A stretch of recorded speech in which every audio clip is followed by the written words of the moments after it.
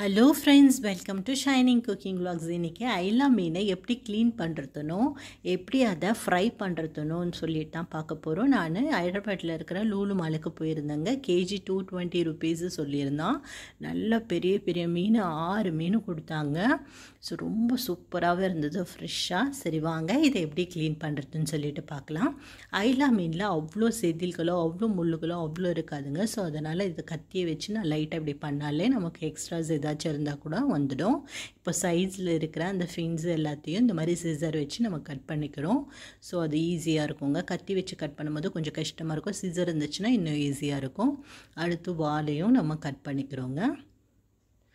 So cut பண்ணிவிட்டு next நம்ம தலையை இந்த மாதிரி இந்த செவில் இருக்கு இல்லைங்களா? அதை பிடிச்சி இழுக்கும் போது நமக்கு சூப்பராக வந்துடும். அப்போ உள்ளே இருக்கிற அந்த எக்ஸ்ட்ராஸஸ் இன்டெஸ்டைன்ஸ் எல்லாமே வந்துடும். இப்போ வந்து நம்ம இதை வந்து கழுவிடலாங்க. நான் டைரெக்டாக குழாலேயே திறந்து அப்படியே கழுவிக்கிறேன். அப்போது நமக்கு இருக்கிற அந்த ரத்தம் எல்லாமே வந்து சூப்பராக க்ளீன் ஆகிடும் அவ்வளோதாங்க. ஸோ சூப்பராக எல்லாமேனையும் நம்ம க்ளீன் பண்ணிட்டோம். இப்போது இதுக்கு எப்படி மசாலா போடுறதுன்னு சொல்லிட்டும் பார்த்துடலாம் ஃபஸ்ட்டு நம்ம ஐலா மீனை எடுத்து இந்த மாதிரி குறுக்காக கட் பண்ணி விட்டுக்கிறோங்க. அப்போ தான் மசாலாஸ் நல்லா உள்ளே போய் டேஸ்ட்டு சூப்பராகவும் இருக்கும். எல்லா மீனையும் நான் இந்த மாதிரி பண்ணிக்கிறேன். அடுத்து ஒரு பவுலை வச்சு அதில் ஒன் ஸ்பூன் மஞ்சள் பொடி ரெண்டு ஸ்பூன் மிளகாய் பொடி தேவையான அளவு உப்பு one spoon ginger garlic paste one spoon cornflour one spoon rice ஃப்ளாரும் போட்டுக்கிறேன். இதை வந்து இப்போ நம்ம மிக்ஸ் பண்ண போகிறோம் கொஞ்சம் கொஞ்சமாக தண்ணி விட்டு ரொம்ப தண்ணியாக ஆக்கிடாதீங்க.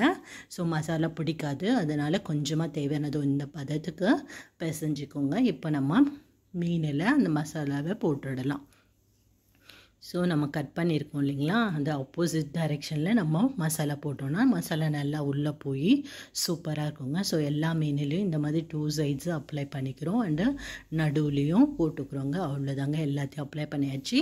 இப்போ நம்ம எப்படி சூப்பராக டேஸ்டியான ஐலா மீனை ஃப்ரை பண்ணலான்னு சொல்லிட்டு பார்க்கலாம். நான் ஒரு தவாவை வச்சுட்டு அதில் கொஞ்சமாக எண்ணெய் விட்டுக்கிறேன். ஸோ ஸ்டவ்வை வந்து மீடியம் ஃப்ளேமில் வச்சுக்கோங்க. கொஞ்சமாக இது மேலே கருவேப்பிலையும் போட்டுக்கோங்க. இன்னும் டேஸ்ட்டு சூப்பராக இருக்குங்க.